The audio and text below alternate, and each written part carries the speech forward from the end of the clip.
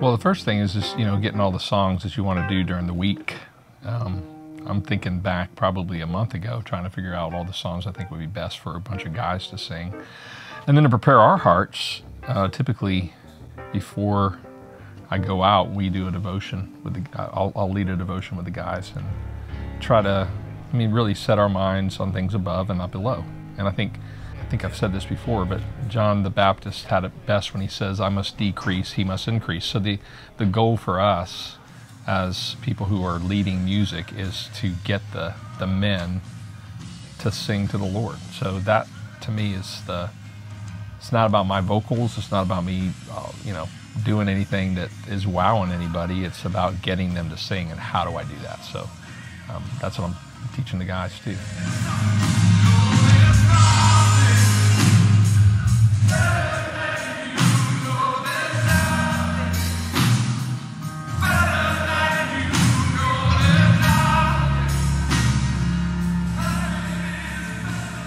when I'm picking a song or songs, uh, it's all about making sure that it lines up with Scripture.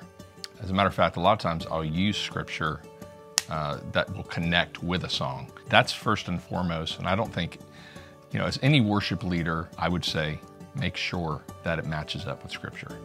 Um, otherwise, you're making noise. And so that's the heart behind, I think, when even in Ephesians and it also says in Colossians, uh, sing psalms, hymns, and spiritual songs. They're all connected uh, to what the Word teaches. That's, that's kind of my philosophy. It should be the philosophy of every worship leader.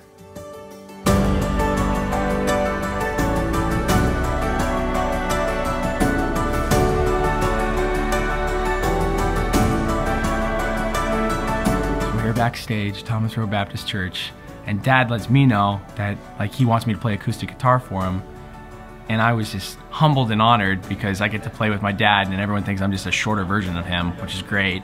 Um, and everyone's telling me that we're literally exactly alike. Look, there he is right there. Yeah, no, oh, he walked away. But He's here, here's the thing, is playing with my dad has actually become one of the most like fun things because we sometimes look over at each other, we like smile during the set. It's just like a little moment, little moments to savor.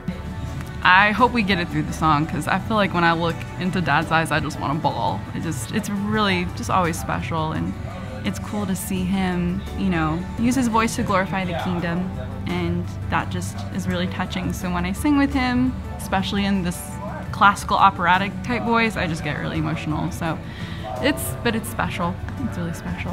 He is a friend, and we've worked together for 30 years plus now. I don't do very many dates on the road, uh, mainly because I do sessions and you know I want to be home. But uh, I always make an exception for Michael because he is a man of integrity.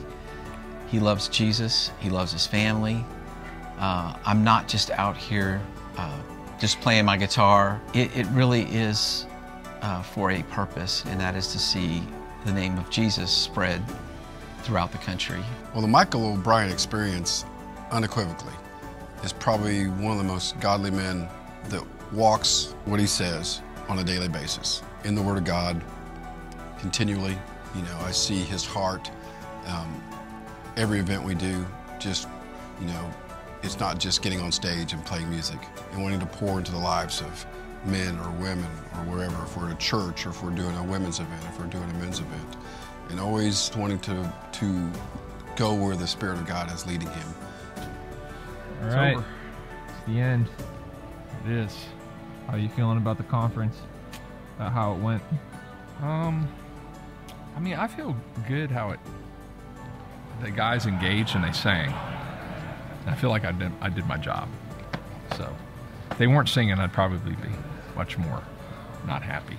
Much they, more not happy. But they did a good job. I think they did a good job. And my band, once again, they're just they're pros, and so it's great to it's great to be alongside guys who I love and have they have a heart for worship, and so that was fun.